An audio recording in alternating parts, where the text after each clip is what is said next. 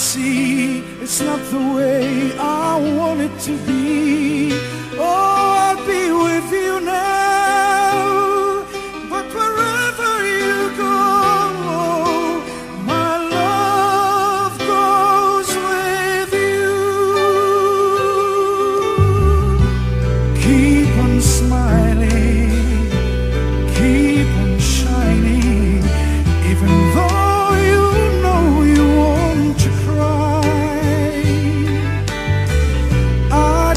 to love.